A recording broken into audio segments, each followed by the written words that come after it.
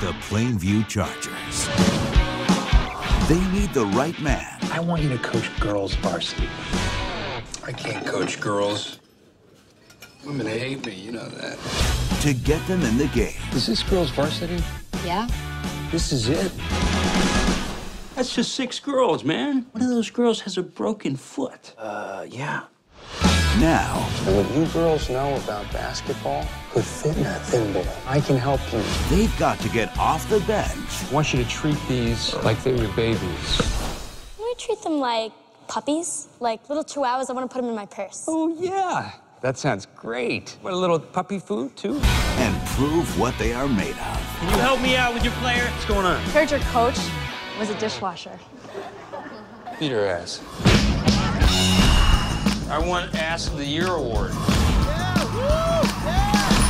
I didn't know they gave out an award for that. I get awards for everything now. Those girls, They hate me. It's not just girls. This is our house. they came to see their school kick ass. It's not whether you win or lose, it's who's afraid to play you next time. The winning season. You gotta stay tight on that big girl. What do you mean, big girl? Are you calling her fat? Okay, I didn't say she was fat.